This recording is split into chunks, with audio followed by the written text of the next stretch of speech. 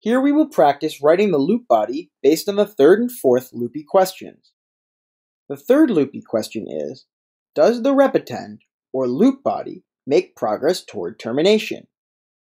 To see this, we generally give an expression whose value should decrease during execution of the repetend.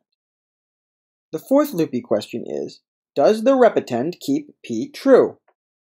More formally, does execution of s, the repetend, given the loop condition b and the invariant p, terminate with the invariant p true? We are not allowed to do anything in the repetend that would cause the loop body to end without the invariant being true. In our first example, we will develop the repetend of a loop that adds the values in the range m dot dot n minus 1.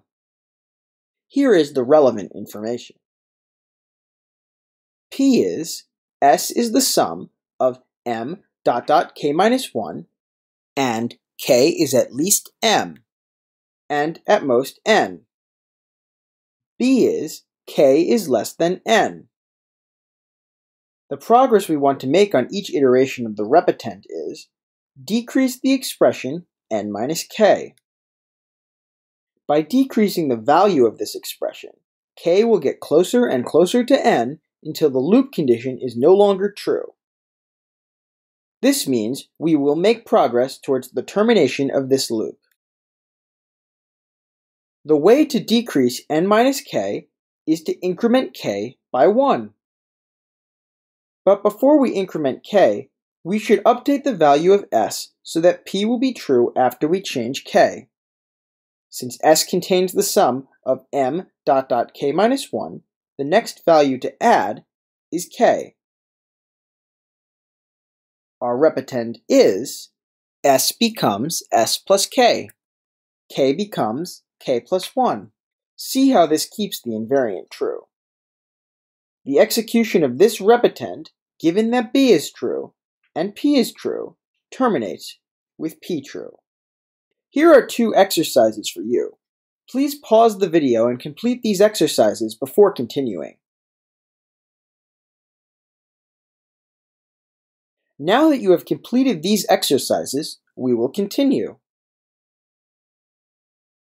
Next, we look at a loop to calculate b to the power of c for c is at least 0.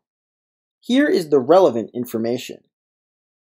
P is b to the power of c equals z times x to the power of y, and y is at least 0.